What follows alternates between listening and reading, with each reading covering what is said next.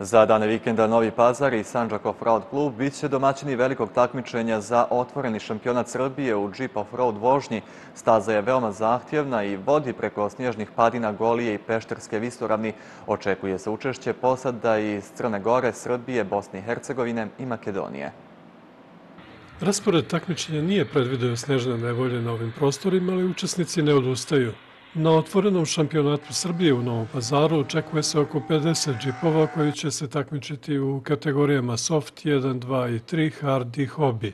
Stazu spremamo evo već 6-7 vikenda jer će se voziti kod nas po road buku, neće se više ići u kolonu ko neka što smo išli, nego pusteju se takmičari na dva minuta i onda dobiju kartu i po karti voze. E, koja je to staza? Gde će sve da prođu vozra?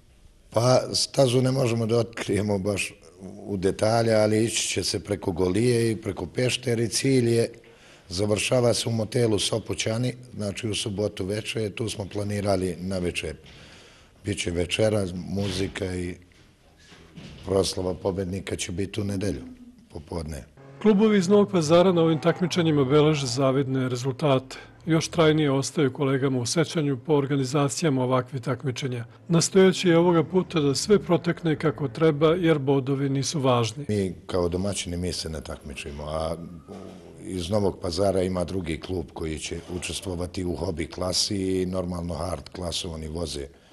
Ja mislim da imaju dva opremljena džipa za to i stotina normalno će biti isto ekipa. Oni mogu da učestvuju i u soft klasi koja se boduje za šampionat, a mogu i u hobi klasi da voze.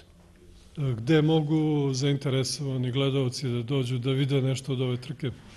Drugi poligon će, drugi poligon će biti u nedelju oko 12 sati u gore na Golaču.